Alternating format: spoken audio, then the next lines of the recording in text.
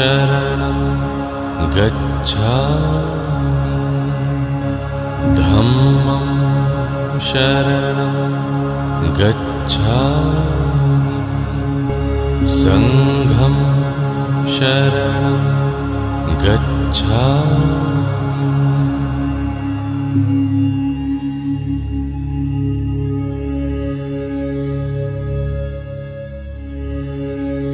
यस मनुष्य जीवनको हरेक क्षण रत्ने रत्नले भरिएको आकाशभन्दा पनि दुर्लभ छ।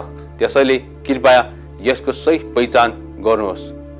टासिदेलेक बौद्ध सन्देश कार्यक्रममा यहाँहरूलाई स्वागत छ। म निमारिन्जी शेर्पा। भक्ति दर्शन टेलिभिजनमा हरेक आइतबार यसै बेला यो कार्यक्रम प्रसारण हुँदै आएको छ। नेपाल बौद्ध महासङ्घले संयोजन गरेको यो कार्यक्रममा बौद्ध गतिविधि बौद्ध प्रवचन बौद्ध संवाद बौद्ध तीर्थस्थलहरूको परिचय बौद्ध शिक्षा आदि सबै विषयलाई समेटी यहाँहरूलाई जानकारी गराउने प्रयत्न गर्नेछौँ। यो हप्ता पनि विभिन्न स्थानमा विविध बौद्ध गतिविधि भएका छन्। आजको कार्यक्रममा तिनै बौद्ध गतिविधि साथै प्रवचन सहित उपस्थित भएका छौँ। सुरुमा लागौँ बौद्ध गतिविधितर्फ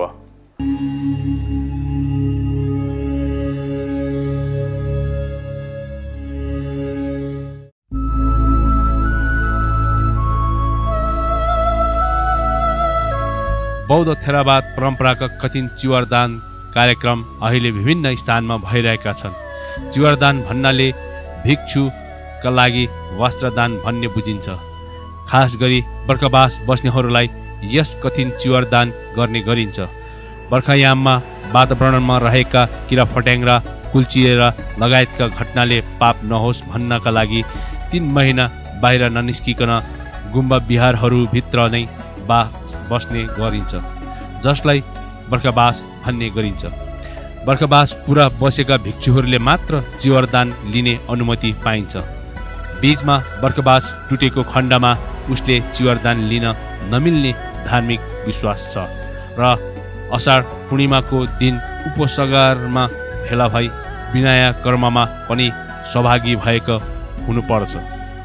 यो बुद्ध कालदेखि नै चलिआएको थेरवाद परम्परा हो। बुद्ध स्वयंले नै श्रवस्तीमा पच्चिस वर्ष बर्खबास बस्नुभएको थियो। यही परम्परा थेरावादमा आजसम्म पनि चल्दै आएको छ।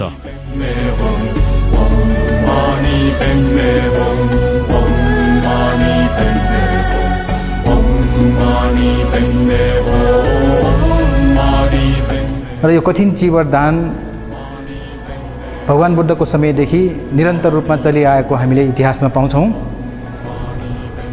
यो कठिन चिवरलाई कठिन भनेर किन भनियो त भन्दाखेरि यो चिवर दान गर्नको लागि धेरै नियमहरू परिपालन गर्नुपर्दछ। जस्तो कुनै भिक्षु बिहारमा तिन महिना पुरा वर्ष वर्षावास बस्नुभएको हुनुपर्दछ अनि त्यो वर्षावास नटुटिएको हुनुपर्दछ र नटुटिएको खण्डमा मात्रै त्यहाँ कठिन चिवर उत्सव अथवा कठिन चिवर दान हुन्छ। र कठिन चिवर दान गर्नको लागि कम्तीमा चारजना भिक्षुहरू चाहिन्छ जसलाई भिक्षु सङ्घ भनिन्छ। त्यो पुरा भएन भने पनि त्यहाँ कठिन चिवर दान हुँदैन। अनि यो कठिन चिवर दान वर्षावास सकिएको आश्विन पूर्णिमाको भोलिपल्टदेखि कार्तिक पूर्णिमासम्म एक महिनाको भित्रमा मात्रै गर्न सकिन्छ। र एउटा बिहारमा एकचोटि मात्रै हुनसक्छ। त्यसकारण धेरै नियमहरू त्यसमा पार परिपालन गर्नुपर्ने भएकोले यसलाई कठिन चिवरको नामबाट चिनिन्छ।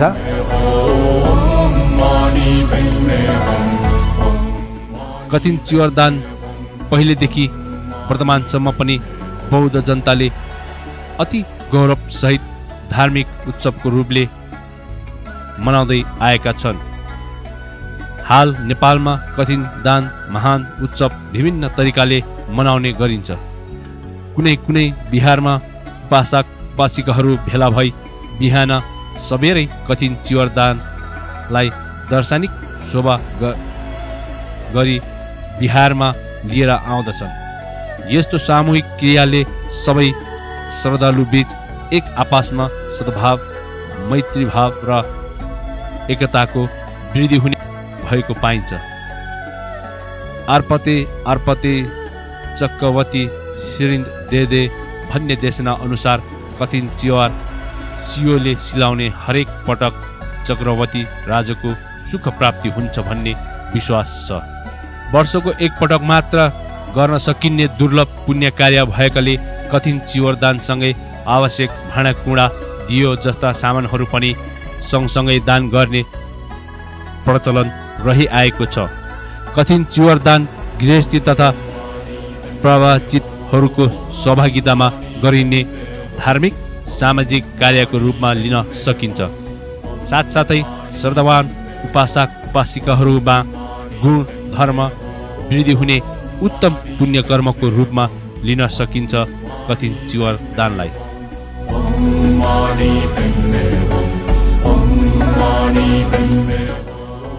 यसै सन्दर्भमा अन्तर्राष्ट्रिय बौद्ध भावना केन्द्रले पनि काठमाडौँ बुद्धनगरमा कठिन चिवरदान कार्यक्रमको आयोजना गरेको थियो।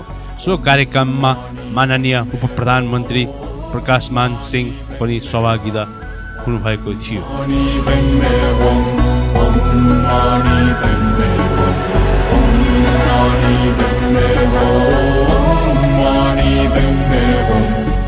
काठमाडौँ बौद्ध तिनचुली तथा फर्पिङमा आयु अभिषेक अनुष्ठान सम्पन्न भएका छन्। तिब्बतबाट पाल्नुभएका थुप्तेन पाल्साङ रिम्बुचेज्यूले उक्त अनुष्ठानमा छेवाङ अर्थात् आयु अभिषेक प्रदान गर्नुभएको थियो।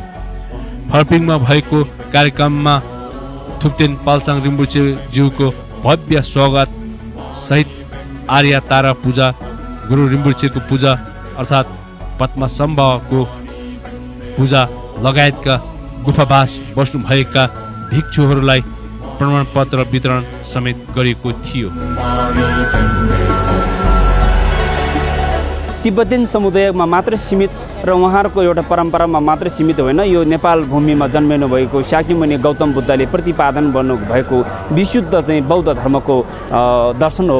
हामीले वङ ग्रहण गरेर के गर्नुपर्छ भन्दाखेरि धर्मको श्रावण गर्ने चिन्तन गर्ने भावना गर्ने आफ्नो दैनिक जीवनमा त्यसको साधना गर्ने त्यसरी साधना गरिसकेपछि अनि आफूले चाहिँ अरूको परोपकार गर्न सक्छ अरू प्राणीको उद्धार गर्न सक्छ। त्यसरी चाहिँ अरू प्राणीको उद्धार गर्न सकेपछि अनि हामीले चाहिँ निर्माण प्राप्त गर्न सक्छ। त्यसैले गर्दा त्यसैको लागि हामीले वाङ थाप्नुपर्छ। त्यस्तै बौद्ध तिनचुलीमा अहिले पनि निरन्तर रूपमा प्रवचन जारी रहेको आयोजक नायुर कामा संरक्षण सङ्घले जनाएको छ।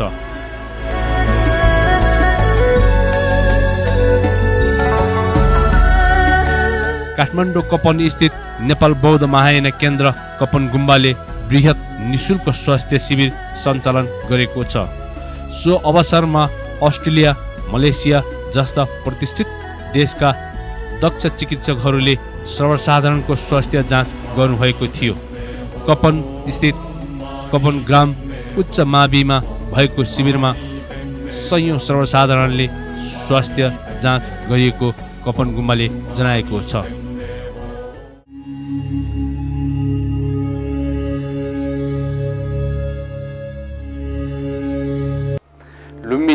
विश्वविद्यालयको उपकुलपतिमा नेपाल सरकारले डाक्टर नरेशमान बजाचार्यलाई नियुक्त गरेको छ।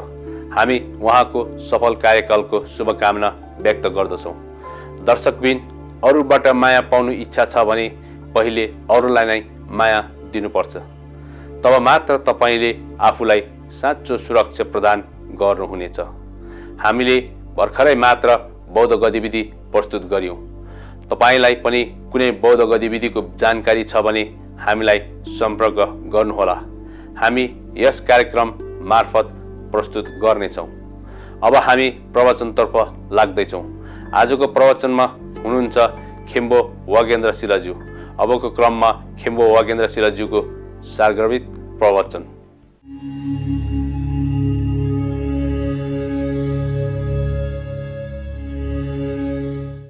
बुद्धं शरणं गच्छामि। धम्मं शरणं गच्छामि। सङ्गं शरणं गच्छामि। हे धम्म हेतुप्रभावात् समहेतु तथा गत्वा निरोध एवं वादिमाश्रमण सभ्ये पापस्य अकरणं कुशलस्य उपसम्पदा। सचित्तपर्योदपनं यदानं बुद्धानं शासनम्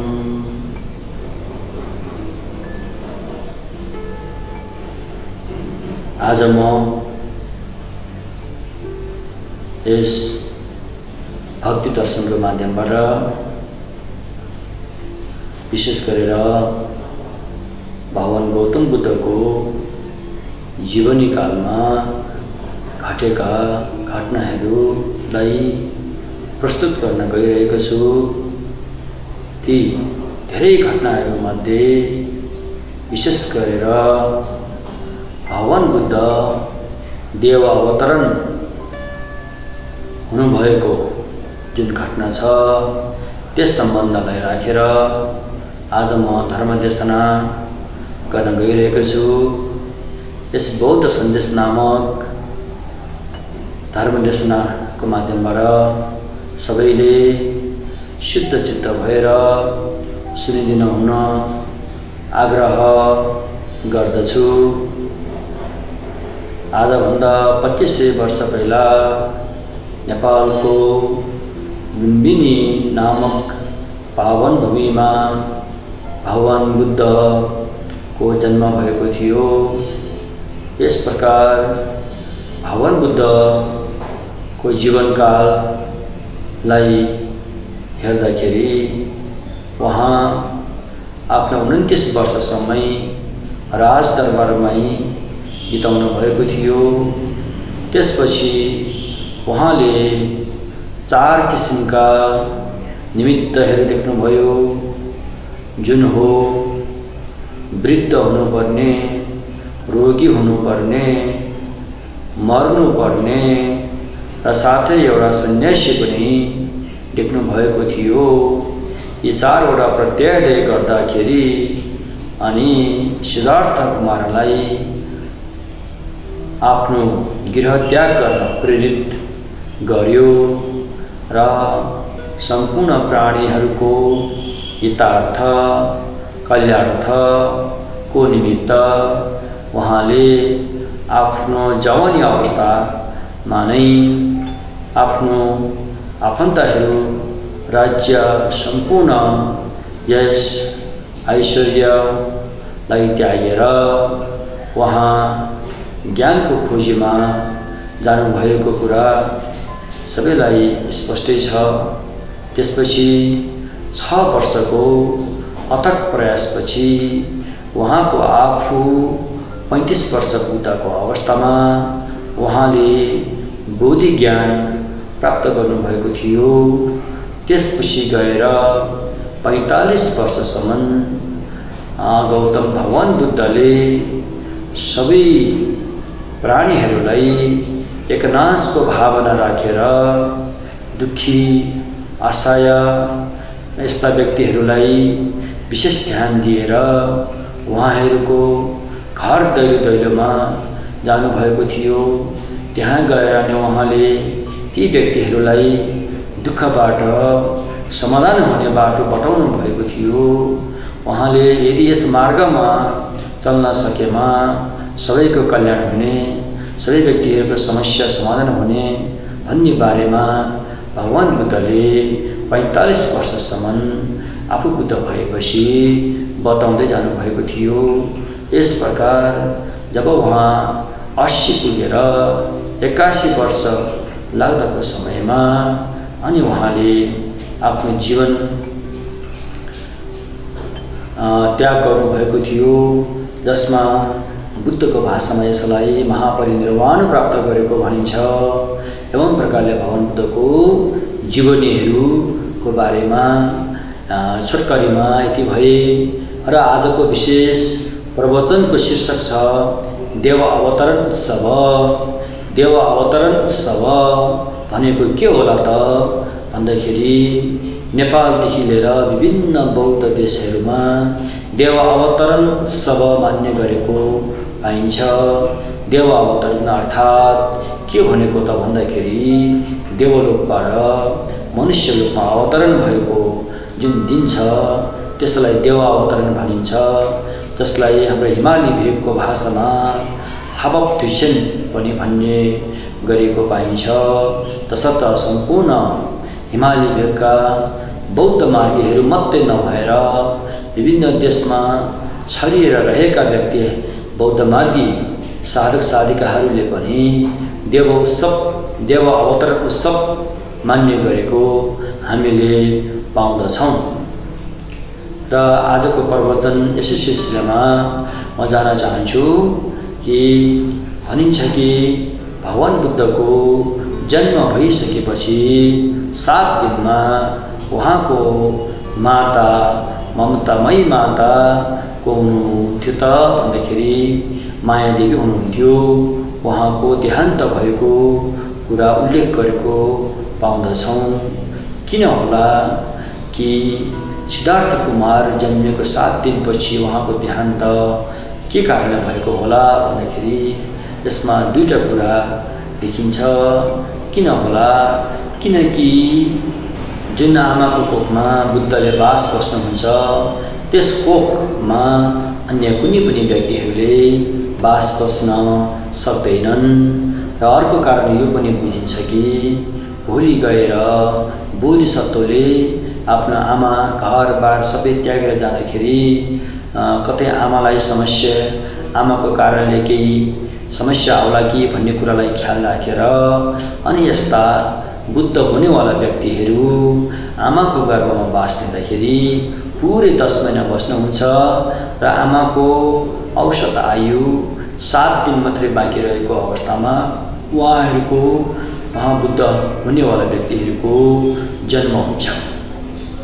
त्यसपछि भनिन्छ कि मायादेवीको स्वर्गारोहण भइसकेपछि उहाँको जन्म त्रायत्रिस देवभवनमा भएको मानिन्छ। मायादेवीकै आज्ञा अनुसार महाराज श्रीधनले सिद्धार्थ कुमार बोधिसत्वलाई हुर्काउन लालन पालन गर्नको निमित्त उहाँले आफ्नै साली अर्थात् मायादेवीको बहिनी गौतमी प्रजापतिसँग पुनः विवाह गर्नुहुन्छ र गौतमी प्रजापतिले आफ्नो दिदीको छोरो सिद्धार्थ कुमारलाई आमाको माया ममतामा कुनै पनि बाँकी हुन नदिनको लागि कुनै पनि कमी हुन नदिनको लागि आफ्नो सम्पूर्ण माया ममता दिएर सिद्धार्थ कुमारलाई हुर्काएको कुरा हामीले बौद्ध बुद्धको जीवनीमा स्पष्ट पाउँदछौँ। त्यसपछि भगवान् बुद्ध आफू बुद्ध भइसकेपछि बौद्ध धर्ममा यस्ता थुप्रै थुप्रै पुण्य स्थानहरूको व्याख्या गरिएको छ जस्तै बुद्ध धर्म र सङ्घ पुण्यभूमि हुन् किनकि ती त्रिरत्नमा अपार अपार पुण्य अपार अपार गुणहरूले सम्पन्न भएको हुन्छ। आफ्ना गुरुहरू पनि पुण्यभूमि हुन् किनकि उहाँहरूमा अपार अपार गुण भएको हुन्छ। माता पिता पनि पुण्यभूमि हुन् किनकि माता पिताले तपाईँलाई धेरै धेरै गुण लाउनु भएको छ।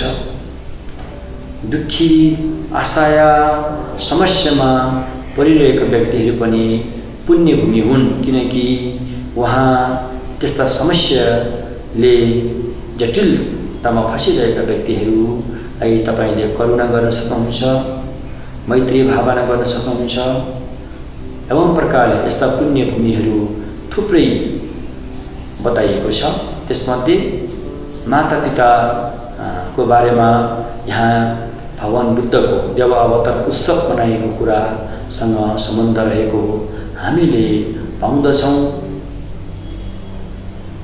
भगवान् बुद्ध बुद्ध भइसकेपछि उहाँ त्यसपछि आफ्ना आमाको गुण आफ्ना आमा मायादेवीको गुणलाई सम्झेर आमाको दस धारा दुधको भार काट्नको लागि अथवा आमालाई सुख दिनुको लागि आमाको उद्धार दिनुको लागि आमालाई कल्याण गर्नको लागि अनि भगवान् बुद्ध स्वयं मनुष्य लोकबाट यस मनुष्य चोलालाई नत्यागिकनै सिधै त्राइतिस भुवनमा जानुहुन्छ। त्राइतिस भुवनमा गएर भगवान् बुद्धले आफ्ना आमा माया देवीको लागि उहाँको उहाँ लगायत सम्पूर्ण प्राणीहरूको हितार्थ कल्याणार्थ अनि अभिधर्म नामक ज्ञान सुनाउनुहुन्छ एवं प्रकारले आमाको गुण तिरिसकेपछि स्वयं भगवान् बुद्ध मनुष्य रूपमा पुनः अवतरण हुनुहुन्छ। अहिले आएर देवावतरण भएको स्थान भारतको इलाहाबाद नजिक सङ्कासा नामक एउटा महत्त्वपूर्ण पुण्यभूमि छ। त्यस सङ्कासा नामक भूमिमा भगवान् बुद्ध त्राइतिस देवलोकबाट अवतरण हुनुभएको विश्वास गरिन्छ। जुन बेला त्राइतिस देवलोकदेखि सङ्कासासम्म यस्तो सिँढी भार्याङ लगाइएको थियो अरे महत्त्वपूर्ण रत्नै रत्नले बनेको भार्याङहरू तिन तिनवटा भार्याङहरू बनाएको थियो। र बिचको भार्याङबाट स्वयं सक्य भने भगवान् अवतरण हुँदै थियो भने दायाँ बायाँबाट ब्रह्मा देवता र इन्द्र देवताले भगवान् बुद्धलाई सेवा गर्दै भगवान् बुद्धलाई चमर हम्किँदै अनि देवा अवतरण गरिँदै थियो। त्यसपछि शङ्कासामा अवतरण भइसकेपछि पछि गएर त्यस शङ्कासा नामक भूमिमा जति पनि बिहार गुम्पाहरू निर्माण भए ती सबै भर्याङको आकारमा निर्माण गरिन्थ्यो र त्यस्तो एउटा चाहिँ संस्कृति नै बसेको थियो भनेर यसरी बौद्ध धर्मसँग सम्बन्धित पुस्तकहरूमा उल्लेख गरेको हामीले पाउँदछौँ अर्थात् देव अवतरण उत्सव हावक को यस पुण्य कमाउने महत्त्वपूर्ण अवसरको रूपमा लिएको छ। किनकि स्वयं भगवान् बुद्ध जन्मिएको बेला बुद्धले बोधि ज्ञान प्राप्त गरेको बेला बुद्धले धर्मचक्र गरेको बेला बुद्धले महापरिनिर्वाण प्राप्त गरेको बेला लगायत अन्य पनि विभिन्न पवित्र पर्वहरूमा पवित्र तिथिहरूमा अनि हामीले कुनै पनि अभ्यास बुद्ध धर्मको अभ्यास गर्न सकेको अवस्थामा अघि पछि अभ्यास गरेको भन्दा पनि यस पवित्र तिथिमा अभ्यास गरेको पुण्यको राशि अपार अपार हुनेछ भनेर स्वयं भगवान् बुद्धले भन्नुभएको कुरा हामीले पाउँदछौँ।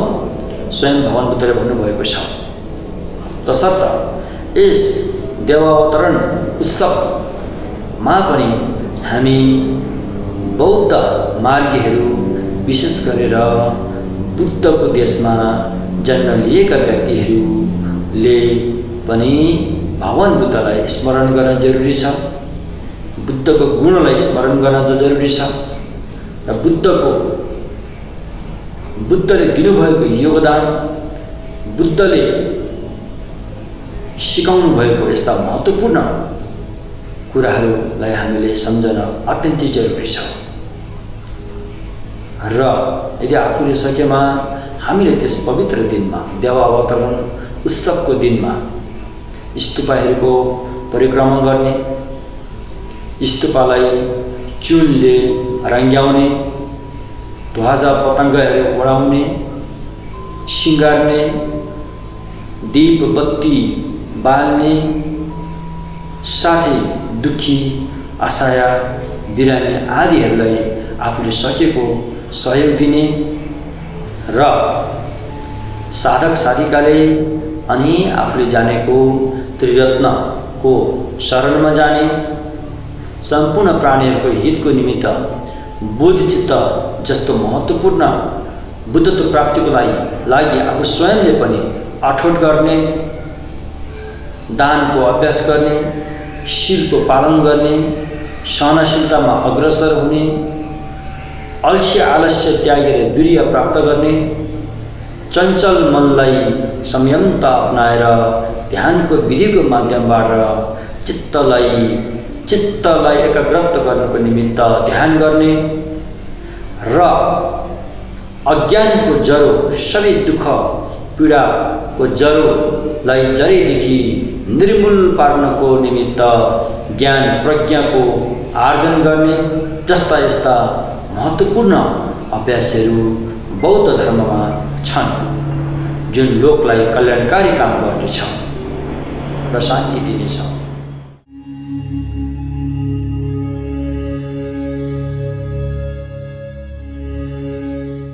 दर्शकबिन उहाँ हुनुहुन्थ्यो खेम्बो वागेन्द्र शिला। उहाँ बौद्ध दर्शन प्रवचनमा उत्तिकै पोख्त हुनुहुन्छ। आगामी श्रृङ्खलामा थप विषय तथा अन्य विशिष्ट व्यक्तिहरूको प्रवचन पनि हामीसँग हुनेछ। यस बौद्ध सन्देश कार्यक्रमप्रति तपाईँको आफ्नो सल्लाह सुझाव एवं प्रतिक्रिया पनि निम्न ठेगानामा पठाउन सक्नुहुनेछ। आजका लागि म निमारिन्जी शेर्पा लगायत सम्पूर्ण युनिट बिदा हुन्छौँ। तुझे धन्यवाद।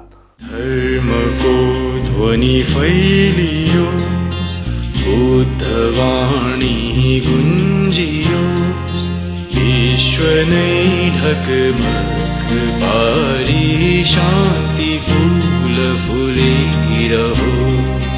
धर्मको ध्वनि फैलियो बुद्धवाणी गुञ्जियो विश्व नै ढक पारी Julira vos.